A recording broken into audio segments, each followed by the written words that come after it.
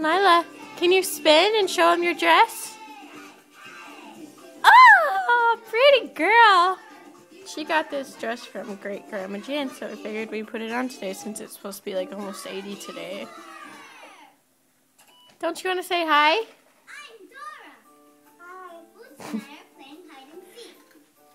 You want Oh, our living room is so bare because Chuck and I finally like shampooed the carpet, so. Let's go look. No, we're not moving. Get your finger out of your nose, sicko. Don't you want to talk to them? You see him? Bye. Where? Bye. What do you mean bye? Behind the tree? I don't see him. Where is he? Up there? Boo!